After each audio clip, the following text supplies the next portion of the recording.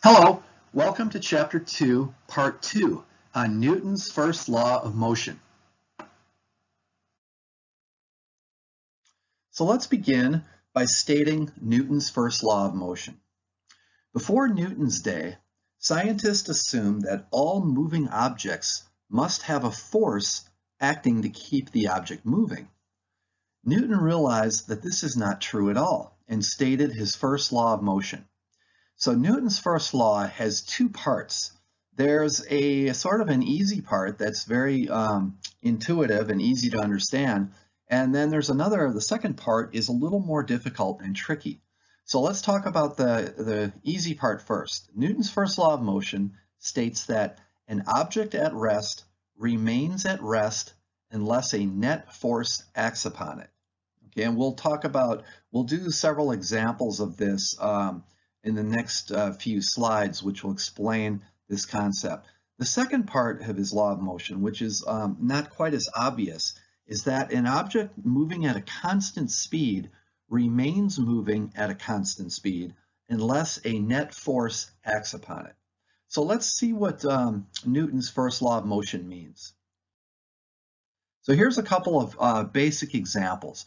So for the first part of Newton's first law, remember it says that an object at rest remains at rest unless a net force acts upon it.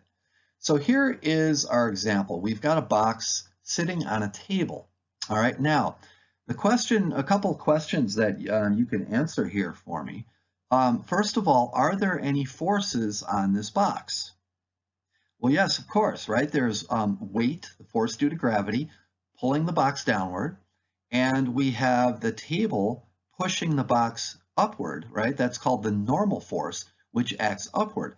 So the key thing here is that the weight force down and the normal force up exactly cancel each other. That means the net force on this box is zero. So an object that's at rest, like this box, will remain at rest as long as there is no net force on it. But of course, if we come along and push this box or kick it, you know, up or sideways, um, any direction, the box is no longer going to remain at rest because now there will be a net force acting on it. So this, this part of Newton's first law is, is pretty um, logical and intuitive. The second part is um, a little more tricky. Part two says that an object moving at a constant speed remains moving at a constant speed unless a net force acts upon it. So let's look at an example of a hockey puck, which um, let's say the hockey player um, struck it with his stick and this puck is now sliding across the ice. Let's look at the animation here. So the puck is just slowly moving across the ice and we'll assume that the ice is very slippery and there's no friction. So there is no force right now pushing this puck. Obviously, there is weight down and normal force up, but those two forces balance each other. The key thing here is that this puck is moving at a constant speed. That means there's no net force on it. So this puck is moving. There is nothing pushing the puck to the right. Obviously, something had to push the puck to get it started. But once the puck is set in motion, this puck will continue moving in the same direction at the same speed unless something comes along and acts on it. So for example, if we were to come along and kick the puck, um, either to speed it up or slow it down, um, or if the puck all of a sudden um, went on rough ice and, and um, experienced friction, then the puck's motion is going to change. But if there's no changes, um, no other forces acting on this puck, it will continue to move at a constant speed. So let's look at um, several more examples of Newton's first law. In the first part of this um, lecture on chapter four, you learned how to sketch um, what's called a free body diagram. Remember, that's just a diagram where we represent the object um, and all of the forces acting on the object. So let's just start with a couple of uh, real basic ones here. Um, so draw a free body diagram for this box sitting on the table. So um, when you're um, done with these two examples, go ahead and pause the video. And I would like you to sketch these out. This is good practice for you to do this on your own um, so that you have some practice without me just showing you how to do them. The second object um, is a washer here hanging from a string. So I want you to also sketch a free body diagram for the washer in this um, situation here.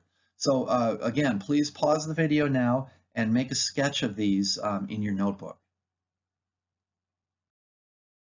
All right, here are the answers to our first, uh, these last two examples. So for the box sitting on the table, we actually already did this one. Um, we have the weight force pointing down and the normal force of the table pointing up. And by the way, these two forces should be equal and opposite, right? Because there is no net force on the box.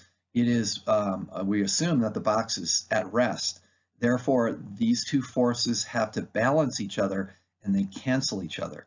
Now for the hanging washer, um, we have weight force always down, the force due to gravity, and of course the string here is pulling on the washer. That creates a force called tension, which we will label with a T. So in this picture, the tension force cancels um, the weight force here. They are equal um, and in opposite directions. Now notice there is no normal force on this washer because the washer is hanging in the air. It's not touching the ground. So the only upward force here is the tension. Here are a couple more examples for you to practice with. Um, let's go ahead and run the animation for a ball rolling across the floor and we're going to assume no friction. So you can think of this like a, a real smooth, heavy ball, like for example, a marble or maybe a bowling ball would even be a better example. All right, so here's our ball um, rolling across the floor. We're going to assume that it's rolling at a constant speed and we're going to assume that there's no friction. For um, another example down below here, um, here's uh, the hockey puck again, and um, this time it's moving to the left. And again, we're going to assume that it's sliding on slippery ice so that there's no friction. So in each of these cases, um, I want you to pause the video and draw a free body diagram for the ball up here and then draw a free body diagram for the puck down here. Now notice these two objects are already in motion. Okay, they have already been sent in motion. All right, so here are the answers to the, um, the rolling ball and the sliding puck. So for the ball, we have, of course, weight going down, and the floor is pushing up, normal force up, okay? For the puck, it's pretty much the exact same thing. We have weight force, gravity, pointing down, and we have the normal force of the ice pushing up on the puck. Now here's the important thing for these. Even though both of these objects are moving, there are no horizontal forces present. Remember, we're ignoring friction and wind resistance and things like that. The objects are moving with constant speed, thus there is no net force. So there, even though the ball was moving to the right, there is nothing pushing the ball to the right. The hockey puck was sliding to the left but there is no force pushing it to the left. This is the key thing with Newton's first law of motion, especially the second part of his first law, which is a little more tricky when it deals with motion at a constant speed.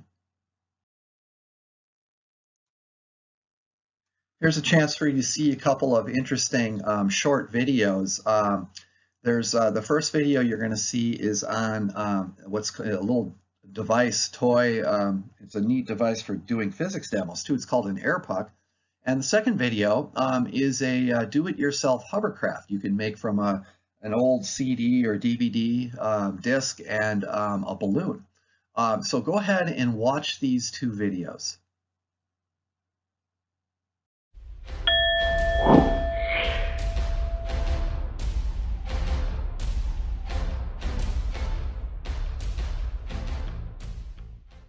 Objects like planets will continue in their state of motion, straight line at constant speed, unless acted on by a force, like gravity, which would bend them into a curve. Now, we rarely see this on Earth because there's always friction acting on the objects, but there are some circumstances in which we can remove friction. One of these situations is dry ice, and another is floating air hockey pucks.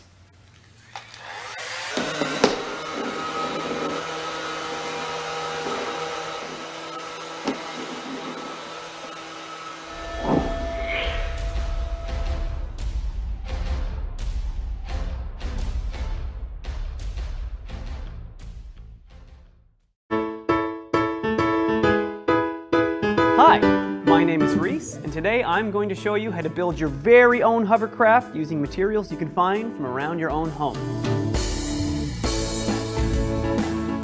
So to build your very own hovercraft, gather the following items from around your home.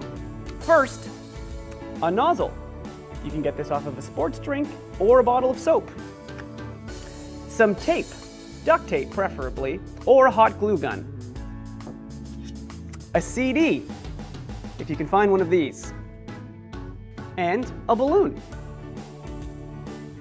So to start out with, we want to tape an airtight ring around the hole of the CD and the hole of the nozzle.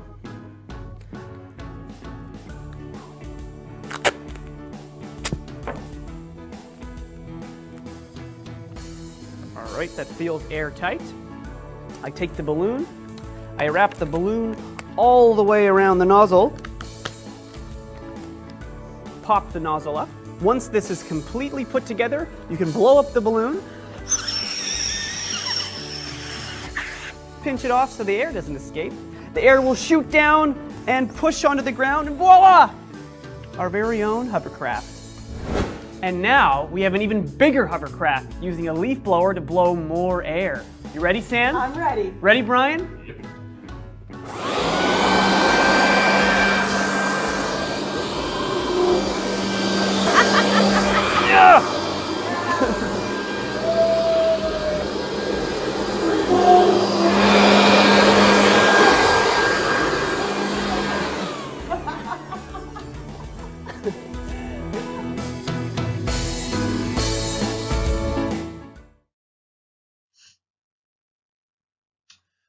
So now that you kind of had a chance to see how the um, air puck worked in the video, um, let's go ahead and do um, an example where you can get some more practice here sketching a free body diagram for um, either an air puck or a hovercraft. So here, you know, we have again the floor and here's our air puck or hovercraft gliding across the floor at a constant speed. So go ahead um, and make a sketch of the free body diagram for the air puck.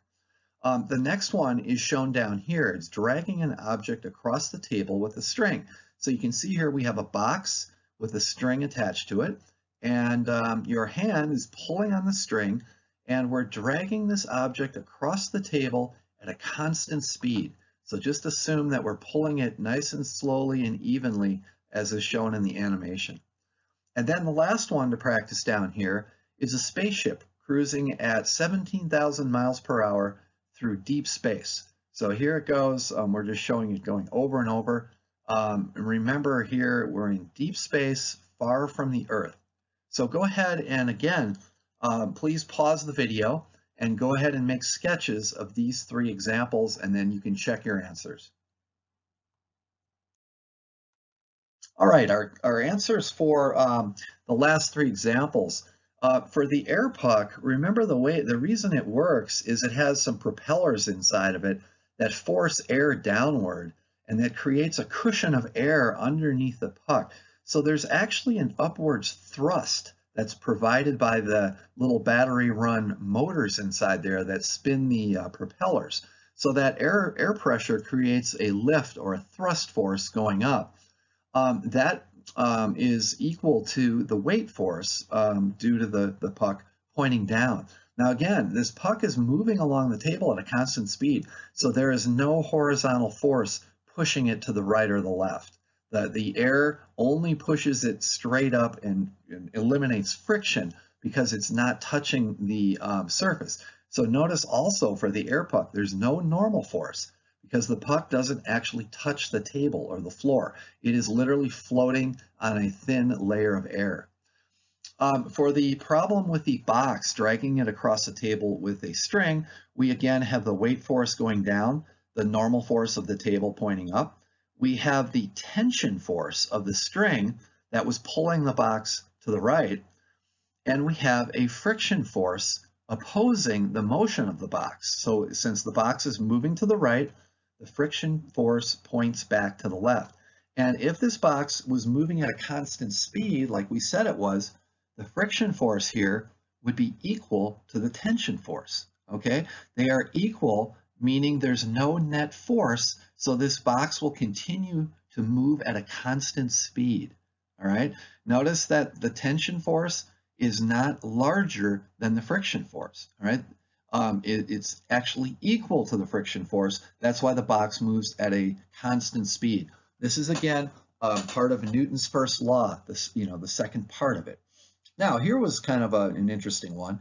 We've got this rocket um, flying through deep space at a constant speed, cruising at 17,000 miles per hour. Now, why haven't I drawn any arrows, any force arrows on our rocket? Well, because there aren't any.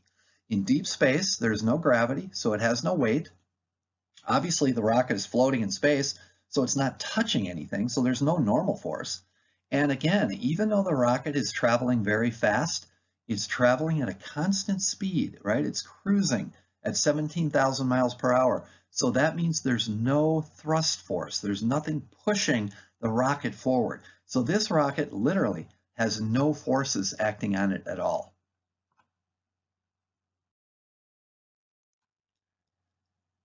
The next concept that we need to cover, um, which really is um, necessary before we can talk about Newton's other um, laws of motion, his second law of motion in particular, um, is the concept of mass. Uh, mass is a measure of how much matter is in an object. It's also a measure of an object's inertia. Inertia is the resistance to acceleration. So in other words, the more mass something has, the more inertia it has, and that means it's harder to get the object to accelerate, okay? So the units of mass are the kilogram, all right? So we're, remember, we're measuring things in this course. We're measuring distance with meters. We're measuring time with seconds. And now we have a new um, unit uh, called the kilogram, which measures the quantity of mass. And the abbreviation for a kilogram is a kg. I should point out that, you know, kilogram literally means 1,000 grams. So, um, but we will be working with kilograms, not in grams. Sometimes in the course, we'll have to make a conversion. In other words, if we're given the mass in grams, we will need to convert it to kilograms.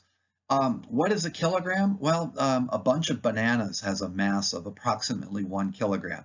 If you were to place a one kilogram uh, mass um, onto your bathroom scale, it would weigh 2.2 pounds. So that kind of gives you an idea um, of how much mass one kilogram is. Here's a, a good thought experiment to do. Um, and thought experiments are, are very important. Um, Einstein um, famously did many of the experiments um, in his head because there, he didn't have equipment at the time or technology to actually perform a lot of his, his, his experiments. And we can sort of do the same thing here. Um, imagine uh, having an empty shopping cart and then another cart here, which is filled with um, heavy drinks. You know, notice this thing's full of soda and wine and beer, so it, it has a lot of mass in it. Now imagine your, all your task is to just take this shopping cart and push it quickly across the store. All right, so it's at rest here. So obviously this light um, empty cart here is going to be much easier to push and get moving. In other words, you can accelerate it very quickly by giving it um, a nice firm push. On the other hand, this cart that's jam-packed with heavy items, when you go ahead and push it, it's going to feel very sluggish. It's going to be difficult to push. Now, the interesting thing here is that the difference in effort needed between this push here and this push here is not due to the weight because weight points down and you're actually pushing horizontally. So weight is not resisting you here. And it's also not due to friction. Um, a little bit of it, of it is, but friction has been minimized with the wheels in the cart. So why is this cart so much more difficult to get moving? Because it has more mass and it has more inertia. And remember, mass and inertia are resistance to acceleration. It makes something harder to get moving. There's often um, some confusion when um, dealing with the concepts of mass and weight.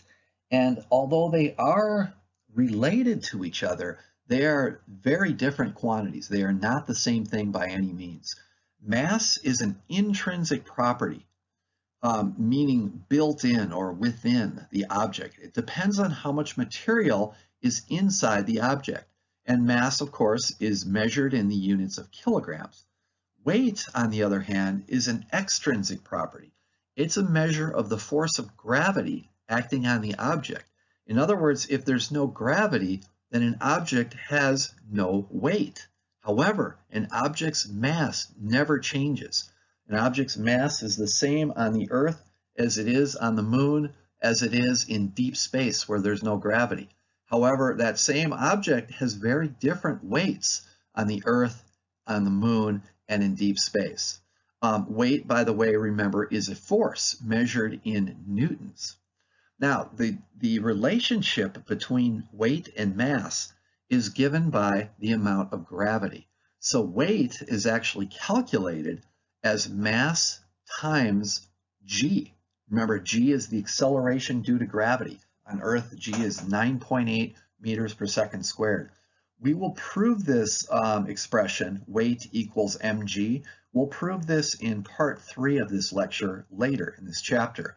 Um, so, you know, if we think about our apple that's falling off the tree, remember we draw a downward force of the uh, um, gravity acting on the apple, and we label that force as weight. Well, now we can actually calculate how much weight force there is. We just take the apple's mass in kilograms and multiply it by g, which is 9.8. So how much does one kilogram weigh? Well, in class, I would show you um, a couple of types of spring scale. Uh, when you step on a scale in your bathroom, um, it tells you your weight in pounds. Now, pounds are an English unit of force. And of course, in this class, we're using the metric or SI unit system, and we use newtons for force. So this is a special type of scale that reads newtons. So if we were to hang a one kilogram mass from this Newton spring scale, we can calculate the weight as mg. Remember, uh, W weight is, is mass times g. So the mass in this case is one kilogram, and g, of course, is 9.8 meters per second squared. So the weight then is going to be 1 times 9.8, which is just 9.8. And then we have a bunch of units here. We have kilograms, multiplied by meters per second squared, because that was the acceleration. So our weight is 9.8 kilogram meters per second squared. Well, we're never going to say all this stuff. All of this stuff together, a kilogram meter per second squared, is by definition a Newton. This is the unit of force called the Newton. So this um, object here, this one kilogram mass, weighs 9.8 newtons. And, um, you know, on a scale like this, you'll see that it weighs just a little bit less than 10 newtons.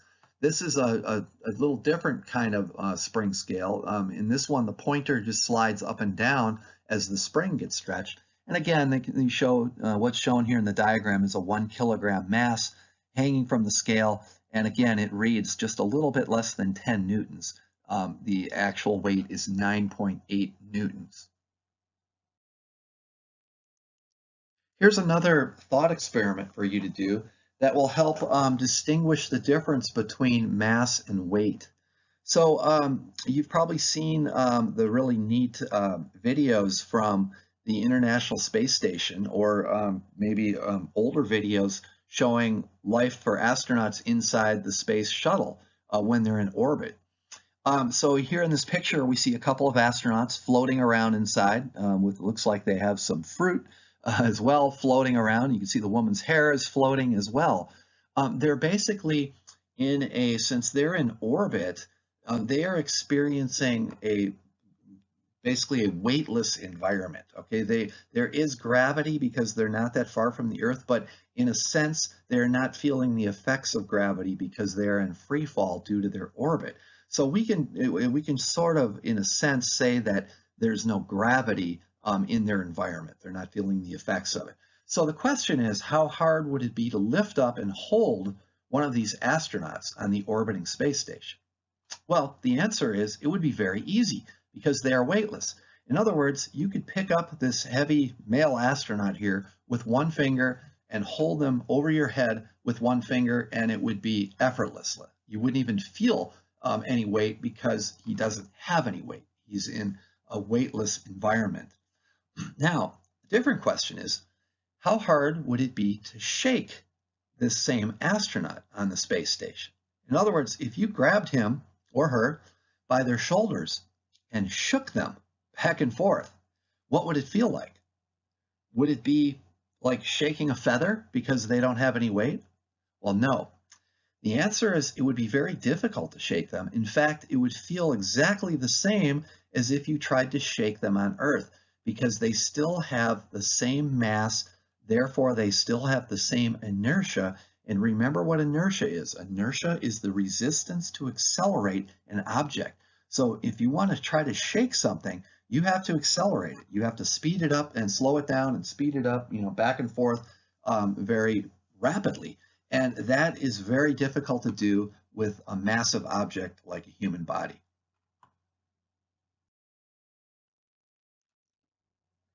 So this is our last slide of this part of the lecture.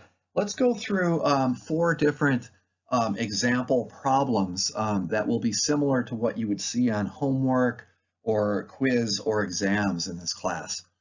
Um, the first question is calculate the weight of a person whose mass is 80 kilograms. All right, well, remember that weight is equal to mass times g, mg. So the weight is 80, g is 9.8, and you multiply those on your calculator, you'll get a weight of 784 newtons. For our second problem, a car with a mass of 1,000 kilograms sits in a parking lot. Calculate the normal force on the car. All right, so let's draw a free body diagram for the car. So the car is represented by this dot right here. So as always, we have weight pointing down, and let's go ahead and calculate the weight since we know how to do that now. Weight is equal to mg, so we have 1,000 kilograms times 9.8 meters per second squared, and that is equal to 9,800 newtons. So that's the weight force. But this car is also, of course, sitting in the parking lot, so the parking lot is pushing up on the car with a normal force. Now, how much normal force is there? Well, remember, we know this car is at rest. It's sitting still. It's not moving anywhere. So the normal force must be equal to the weight force in, other, in order for there to be no net force on this object. So the normal force is also equal to 9,800 newtons. For our third problem here, a chandelier's mass is 20 kilograms and hangs from the ceiling by a cable. What is the tension in the cable? So here is our chandelier represented just by this blob or dot right in the middle. Again, we have a weight force pointing down. Weight force is equal to mg, which is 20 kilograms times 9.8, which is 196 newtons. Now, why doesn't the chandelier fall? Well, because it's suspended by a cable that is exerting a tension force pulling up on the chandelier.